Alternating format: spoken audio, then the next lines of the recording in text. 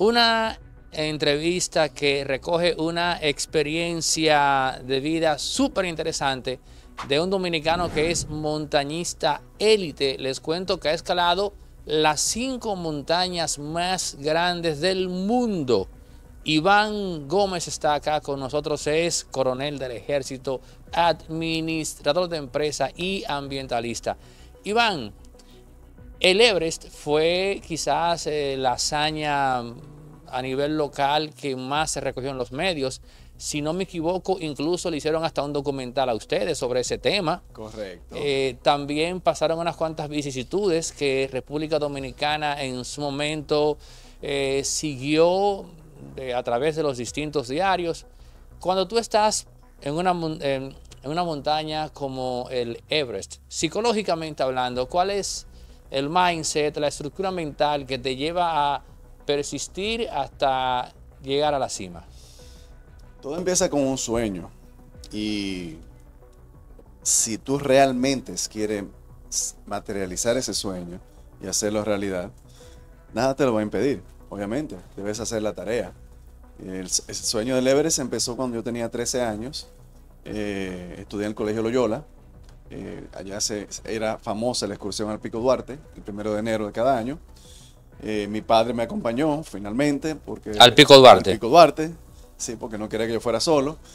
Y llegando al Pico Duarte, al llegar a la cima, ver la montaña desaparecer bajo tus pies, esa travesía, la naturaleza, estar más cerca del cielo, de Papá Dios, me enamoré de la montaña, me enamoré del montañismo.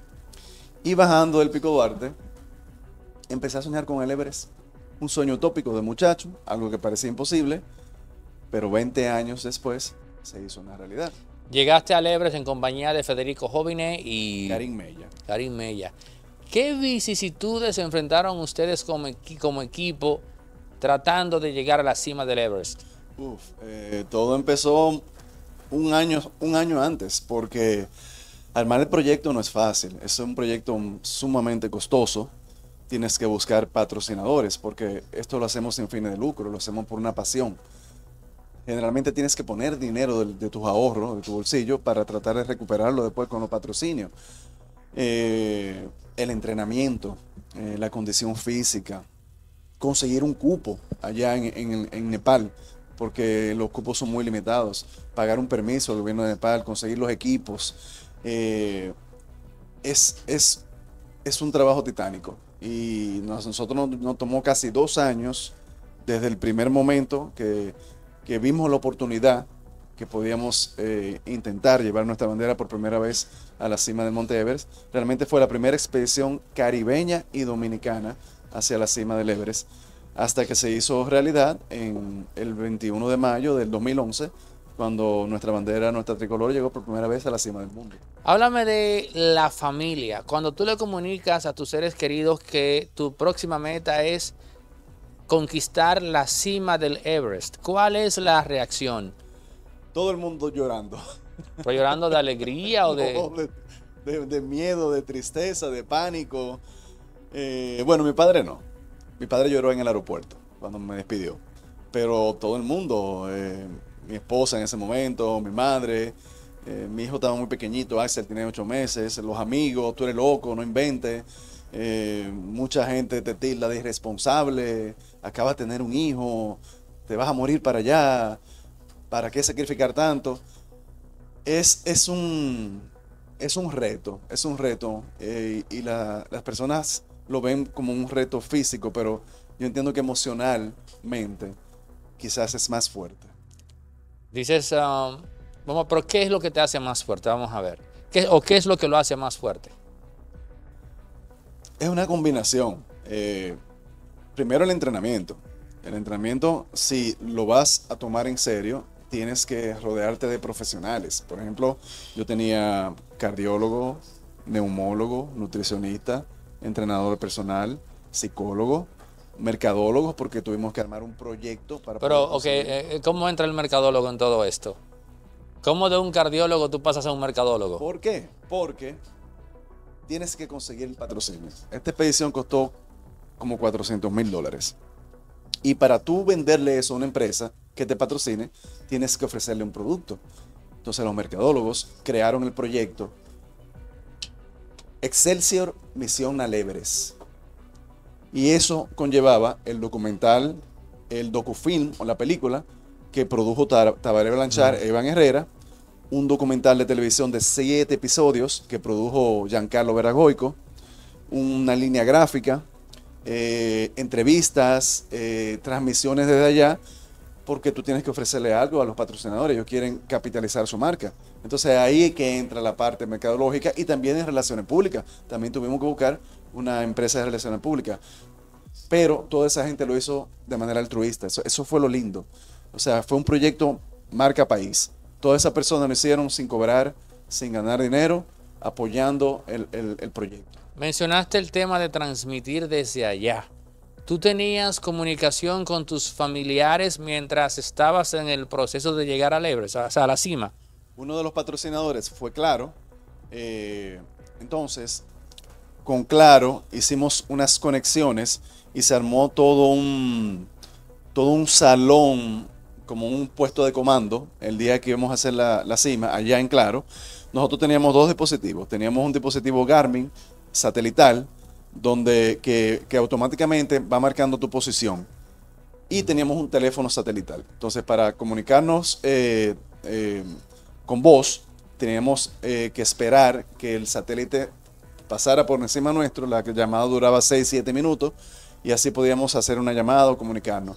El dispositivo Garmin transmitía constantemente y para ya, si había que mandar imágenes o fotos o videos con internet, había, había que llegar al campamento base y ahí entonces usar internet satelital. Pero ustedes podían comunicarse con sus familiares una vez por día. No, una, eh, una vez cada dos o tres días. Sí, estábamos, cuando estábamos en alta montaña.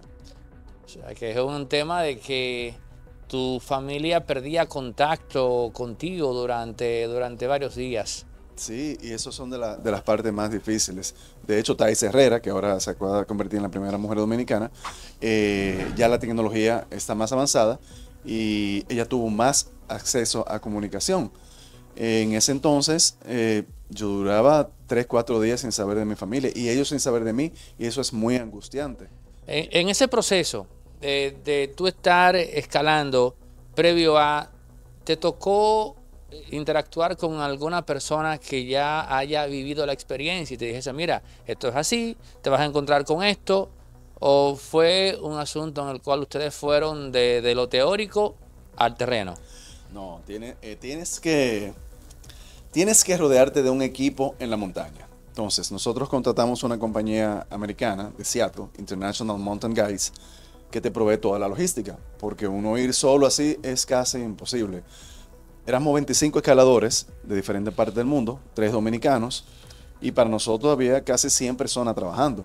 Entonces ellos... Pero 100 personas para ustedes tres. Para los 25. Ah, ok, ok, ok. Cherpas, cocineros. Eh, ¿Cocineros? Bueno, cocineros de montaña. Eh, y les, ok, ok, pregunta ociosa eh, que la curiosidad no me impide dejar de hacer. O sea, ¿les servían comida caliente? En el campamento base solamente. Ok, ¿cómo te explico? Para que tengamos el, el contexto. Volamos de aquí a Madrid, de Madrid a Qatar, de Qatar a Katmandú, que es la capital de Nepal. Ahí duramos unos cuantos días preparándonos y tomamos un avioncito hasta Lukla, que es el aeropuerto más peligroso del mundo. Y desde Lukla, 3.500 metros, caminamos 15 días en los Himalayas hasta llegar al campamento base, que iba a ser como nuestra casa, a 5.000 metros. Entonces el campamento base es como un pequeño pueblecito en medio de los Himalayas, de tienda de campaña, obviamente, tienda de campaña y todo, todo eh, de montañismo. Entonces, una de esas tiendas, eh, la compañía de nosotros tenía una pequeña cocina. Ahí, mientras estábamos en el campamento base, teníamos comida más o menos caliente. Pero del campamento base a la cima del Everest hay cuatro campamentos adicionales. Después del combo Eiffel. Y ahí sí, tú no comes nada caliente. Eh, de hecho, yo perdí 28 libras de masa muscular. ¿Con cuántas libras te fuiste de República Dominicana? Me fui con 213 y regresé como con 280. No, que perdiste que ganar. 180. Bueno, 180 eso más o menos en lo que peso yo, pero tú eres una persona alta, así que en el caso tuyo era un asunto. Entonces, yo imagino que tu familia cuando te vio se asustó. Uf, pues, así, flaco, el, el uniforme me quedaba grande, todo. Pero lo habíamos eh, pre, ya lo, lo, habíamos, lo estábamos esperando porque mis entrenadores y mis trainers me pusieron a ganar libra y a ganar músculo porque sabíamos que íbamos a perder mucha masa muscular. Lo que pasa es que no sabíamos que iba a ser tanto.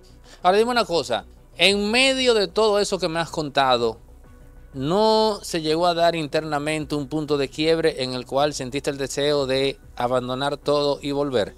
Por supuesto, en varias ocasiones. Eh, una avalancha. ¿Una avalancha? Sí, nos cayó una avalancha. Cuéntame de eso. Eh, pasan muchas cosas porque la montaña no se sube de un golpe. Duramos 45 días subiendo y bajando la montaña. Ese proceso se llama aclimatación.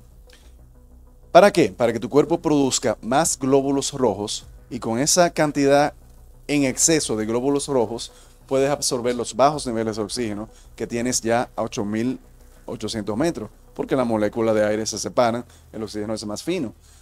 Entonces, tú tienes que subir campamento 1, bajas al base camp, subes al 2, duermes en el 2, bajas, subes al 3, duermes en el 3, bajas hasta el base camp, dura dos o tres días descansando y así te pasa tres o cuatro semanas.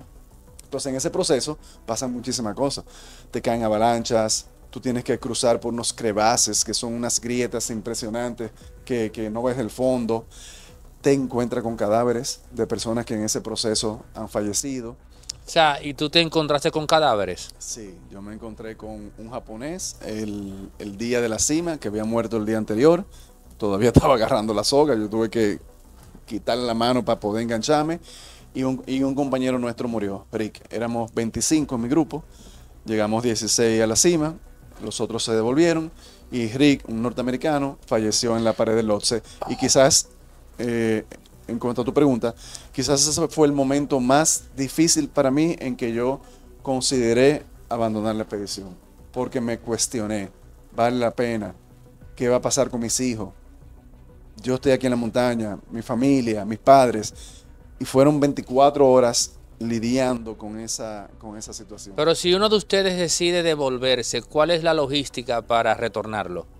Depende. Si estás en el campamento base, haces senderismo. Si estás en los campamentos de altura, tienes que bajar con un Sherpa, que son los, como tus guías de montaña. Uh -huh. Si tienes un accidente en, en la alta montaña y no te pueden bajar, mueres ahí y te dejan allá. Hay más de 200 cuerpos en la montaña. El protocolo, te informan eso antes de subir. Mira, eh, esto es así, ta, ta, ta, pero si te pasa esto, nos vemos obligados a dejarte a tu suerte y bye bye. Mira, eso es una muy buena pregunta. Seis meses antes del, del Ministerio de Turismo de Nepal, te envían un formulario por FedEx, un reguero de, de, hojas, que tú tienes que firmar y devolvérsela. Uh -huh, uh -huh. Y cuando yo empiezo a leer las hojas, te explican todo. Tú puedes morir, te pueden eh, eh, amputar las extremidades, te puedes quedar ciego, te pueden cortar la pierna, te puedes quedar sin mano. Y no solamente tú tienes que firmarlo, tienes que firmarlo tu esposa también. Entonces ya tú te imaginas a mi esposa dando gritos, firmando ese documento. O sea que sí, tú estás consciente de, de a qué vas. Wow, pero ¿en qué contexto tú puedes quedar ciego? Bueno, un compañero nuestro, un australiano, eh, mientras nosotros estábamos descansando en el campamento base, ellos estaban haciendo cima, porque uno siempre espera la ventana. Entonces, eh, dividen los grupos, 5, 6, 7, y a ellos les tocó ese día hacer cima. Las condiciones cambiaron radicalmente, se les metió una tormenta, y me cuenta él que se le empañaban los goggles y no veía, entonces él se los levantaba para poder ver el camino, se, se, lo ponía y en ese proceso se le congelan las córneas. Queda ciego, ahí se activa un, una operación de rescate, se aborda la misión, logramos bajarlo y cuando ya llega el grupo... O sea, se le cogen las, las, córneas y las pierde. No, él recuperó la vista, duró como un mes y pico. Asustado, duró un mes asustado. Eh, sí, pero cuando le quitamos las botas y los guantes, tenía varios dedos ya negros, como te comentaba ahorita, que eso se llama frostbites, cuando se te congelan las extremidades. Entonces hubo que pedir un helicóptero, bajar al campamento 2. El helicóptero solamente llega al campamento 2, que son 6.000 metros de altura, no pueden volar más alto. Lo montamos en el helicóptero y él se lo lleva para un hospital en Kamandú y después nos enteraron que le amputaron tres dedos y como al mes recuperó la vista. Oye, déjame hacer un paréntesis aquí para decirte brevemente qué opino de esto. O sea, a mí, ok, yo admiro tu valor, pero me parece una insensatez. No hay forma en la cual eh, uno se someta a ese tipo de situación en donde tú pones en riesgo facultades tan vitales para el ser humano como, como es la visión. Porque tú me, si tú me dices a mí, bueno, mira, eh, tú puedes perder dos dedos, eh, uno puede decir incluso, bueno, que son dos dedos. Sí. Pero. O la pierna o un brazo. No, no, no, no, déjalo, déjalo los dedos, ya no me ponga la pierna. Pero la visión, o sea, eso no, me, o sea, yo aborto ahí mismo. Es el precio de la cima, como digo yo. Obviamente tú vas preparado para que eso no te pase y, y llevas buen equipo y haces la tarea, pero a veces pasan cosas que tú no controlas. Hay una, hay una película muy famosa eh, que se llama Everest, así mismo, que es de una historia real de una tragedia que sucedió en el 96 cuando dos grupos cometieron muchísimos errores compitiendo por llegar primero a la cima. Murieron 11 y uno de ellos perdió la nariz, las orejas, las dos manos, porque lo dieron por muerto, amaneció en la montaña al otro día lo encontraron vivo, pero ya él quedó boca abajo, boca abajo, y hubo que amputar la nariz, la mejilla, bueno, las dos manos, un desastre. Ahora, vamos a ver. Me, me dijiste que escalaste el Everest, nos centramos ahí, pero tú has escalado las cinco montañas más, más altas del mundo ¿Fue el Everest la más arriesgada o en las otras teníamos también situaciones delicadas? Esa pregunta siempre me la hace. Son diferentes. La primera fue el Kilimanjaro en África, que es la, más alta del continente. Es un volcán eh, que está en medio de una sabana. Es una montaña relativamente fácil. Eh, hasta que tú llegas ya al último día del ascenso. Ese día es bien duro, bien frío eh, pero se hacen dos o tres semanas. Después escalamos la Concagua, que es la más alta de toda América, en Argentina, en la cordillera de los Andes. Ya son 7000 metros, es más complicada, ya hay muerto gente. Eh, tú empiezas a lidiar con nieve y glaciares y temperaturas extremas. Son tres semanas, todavía es manejable. Después escalamos el Elbrus en Rusia, que es la más alta de Europa. Mucha gente piensa que el Mont Blanc es una montaña que se ve fácil, pero es traicionera. Son dos cimas. La logística es complicadísima llegar allá, pero no es tan extrema. El Everest son dos meses. Obviamente es la más mortífera, la más costosa. Arriesgas todo por la altura. Estamos hablando de 9 kilómetros, 8.800 o 9 kilómetros, 29.000 pies. O sea, la altura de los aviones cuando se estabilizan de los aviones comerciales. Eh, entonces, definitivamente, el Everest fue la más larga y la más peligrosa. Pero después de eso, yo escalé Carstens en Papúa Nueva Guinea, que es la más alta de Oceanía, para completar los cinco continentes. Y esa montaña no fue tan larga, pero para mí fue muy difícil, porque la pirámide Carstens, que es, puro rock climbing, está en medio de la selva. Entonces tienes que primero durar siete días atravesando la selva, lidiando con, lodo, con sanguijuela, con lluvia, con calor, con moquito, con, con serpiente, con muchísima fuñenda. Hasta que llegas a la pirámide, a la roca, a la montaña, cambias de equipo, entonces te pones equipo de escalada, equipo de frío, y haces el ascenso, desciendes y después tienes que salir otra vez de la selva. Entonces, Karsten para mí fue muy difícil. Eso es en Oceanía. En Oceanía, en Papua Nueva Guinea, pero no fue tan peligrosa como el Everest. Entonces, cada una es diferente. Ok, ¿te queda algo eh, que escalar en el futuro inmediato? ¿O ya, ya das por culminado tu periplo personal? De hecho, a Oceanía, el proyecto, le pusimos eh, Oceanía el final de la travesía. Porque ya yo entendía que después de 10 años escalando, sacrificando recursos, tiempo de tu familia, tiempo social, tiempo de tus hijos, ya como que quería hacer una pausa del montañismo a nivel profesional. Y ya yo había hecho otras expediciones. Estuve en la selva de Borneo, en el Eco Challenge, estuve en el, desierto de Utah, eh, estuve en el Coast to Coast en, en la Florida. Eh, también escalamos Lobuche en los Himalayas. Entonces ya como que sentía que tenía que hacer una pausa. Eh, pero sí, hay montañas que todavía me gustaría escalar, pero no, no, que de, no que demanden tanto, no que demanden meses ni tantos recursos, ni tantas ni tantos sacrificios. el Iván Gómez. tengo dos, hijos, tengo a Axel que tiene 13 años, tengo a Lucía de, 10. Eh, tu familia sufre mucho, me cuenta papi que cuando yo estaba en el Everest, mami, él se levantaba a las 2 de la mañana, no la veía en la cama y era porque ella estaba hincada rezando el rosario por mí. Entonces, tú seguir haciendo eso por, una, por una satisfacción personal es como un sentido egoísta. El Iván Gómez, eh, antes de todo este proceso y el Iván Gómez que queda, ¿de qué manera esto contribuyó eh, en términos humanos a ti? Eh, algo que tú quieras, por ejemplo, comunicarle a tus hijos que tú hayas aprendido fruto de ese proceso. Que no hay nada imposible en la vida, siempre que lo intentes, con pasión, perseverancia, sacrificio y fe en ti y lo digo mucho en mis conferencias motivacionales, que es quizá la, la, montaña que escalo hoy en día, llevando el mensaje de que los dominicanos sí podemos, de que hay que tener paciencia.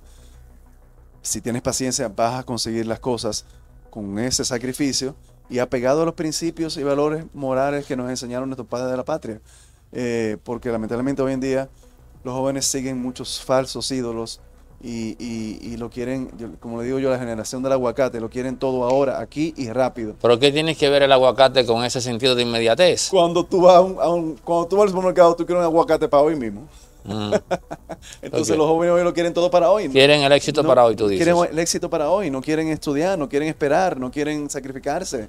Y, y las grandes cosas en la vida requieren tiempo, requieren sacrificio, requieren paciencia. Eh, y esa es quizá el, más, el, más, el más grande aprendizaje de la montaña. Si tú subestimas la montaña, si no la respetas, si quieres escalarla rápido, la montaña te va a cobrar el precio. ¿Sientes que República Dominicana eh, honró eh, ese esfuerzo que, hicieron ustedes eh, cuando llegaron del Everest? Sí, definitivamente. Definitivamente tuvimos todo, toda la República Dominicana atenta a nosotros, enviándonos buenas vibras, eh, rezando, muchos apoyos, muchos mensajes. Eh, esos dos días fueron en expectativa, se paralizó todo el mundo, ya hace mucho, hace 10 años, pero sí, recibimos muchísimo apoyo. tenemos una exposición permanente en el Centro León, la película dicen que es de las mejores producciones. ¿Se refiere al documental? Sí, lo que pasa es que se llama docufilm, porque Tabaré Blanchard, que fue el productor, e Iván Herrera, hicieron algo chulísimo, que fue, eh, nosotros llevábamos cámaras GoPro y ellos también iban filmando hasta el campamento base, y después, post edición, ellos hicieron la parte eh, que no es verídica, que tres niños de Nizao, surfistas, se inspiraron a escalar el Pico Duarte porque nosotros estábamos escalando el Everest. Entonces se hace ese paralelismo y es chulísimo porque se van combinando a esos tres chicos escalando el Pico Duarte y nosotros escalando el Everest. Entonces la parte del Everest es real, pero la otra es ficción. Y quedó un, docufilm, una película espectacular que se llama La Montaña. ¿Qué experiencia personal tú puedes equiparar un poco a todo ese proceso de estar escalando una montaña de esta magnitud?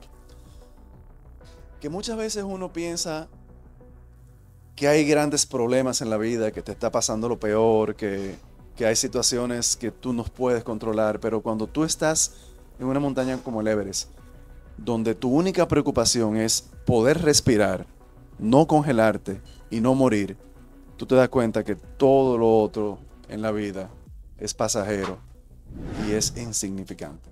O sea, estamos hablando de que hay un proceso de una enseñanza espiritual que te queda inmediatamente después de todo esto. Claro, definitivamente. Uno ve, uno ve las cosas desde otra perspectiva. Y grandes problemas que tú pensabas antes de una experiencia como esa, ya tú los, tú los ves, los minimizas, o sea, son importantes esos problemas, pero se pueden resolver.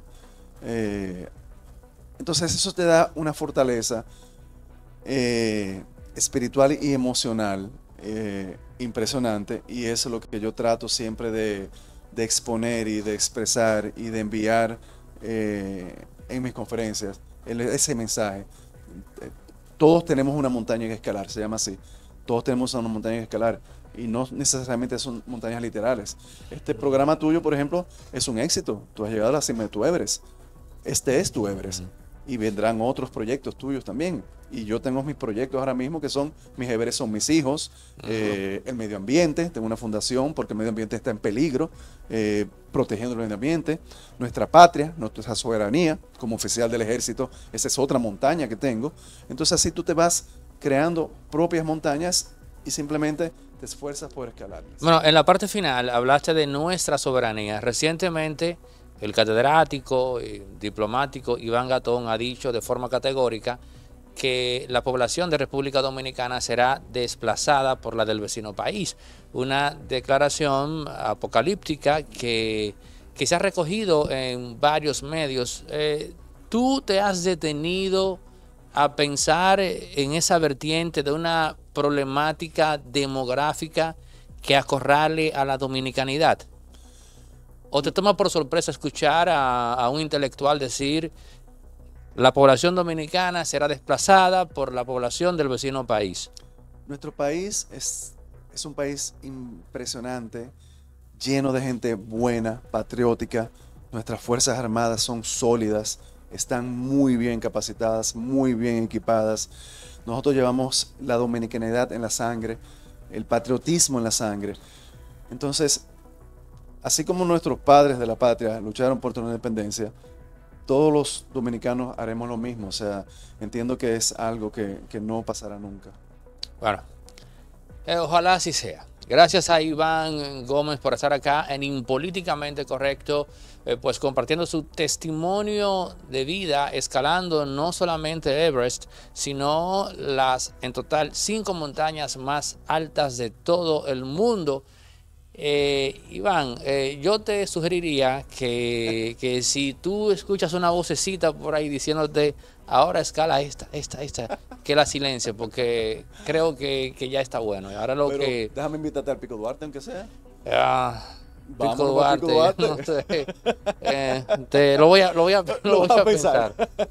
Bueno, señores, gracias por llegar hasta la parte final de esta conversación. En pie para el próximo.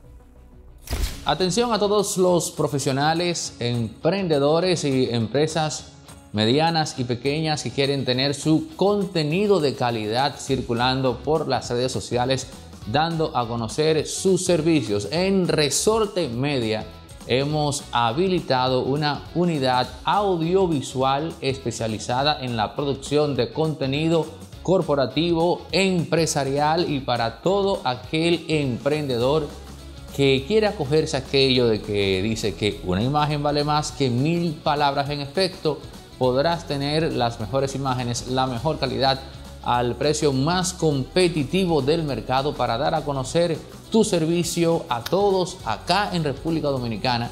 E incluso si tu empresa capta clientes en el extranjero, también podrás contar con eso. Contáctanos, escríbenos al 829-741-361 para que arranques desde ya a colgar contenido en tus redes sociales con la mejor calidad audiovisual posible, la que Resorte Media pone a tu disposición con el presupuesto más eh, asequible del mercado.